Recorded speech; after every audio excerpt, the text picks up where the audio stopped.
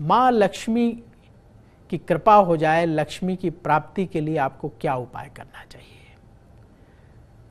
शुक्ल पक्ष के पहले शुक्रवार से शुरू करके एक साल तक शुक्रवार के दिन व्रत रखें।